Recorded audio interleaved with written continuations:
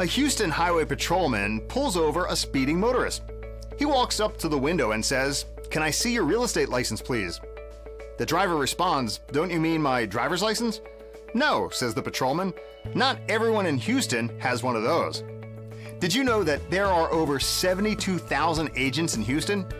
Considering that there are over 2.3 million people in this great city, that's a real estate agent for every 32 people.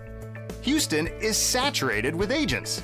When choosing the realtor who you want to market and sell your home, it can be stressful. You want someone who will keep your best interests in mind, someone you can rely on and trust to price your home right, market it effectively, and sell it fast. Speed ticket fast. And here's something valuable to you. She's an accredited staging professional and offers complimentary professional staging services so that you can get the highest price for your home in the shortest amount of time. And not only that, but she's also a certified strategic marketing specialist. Do you want to just list your house or do you want to sell it? Do you get what I'm saying?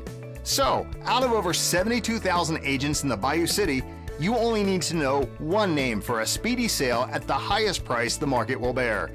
Amanda Crabtree with H & Company Real Estate, a boutique agency that's personalized, not franchised.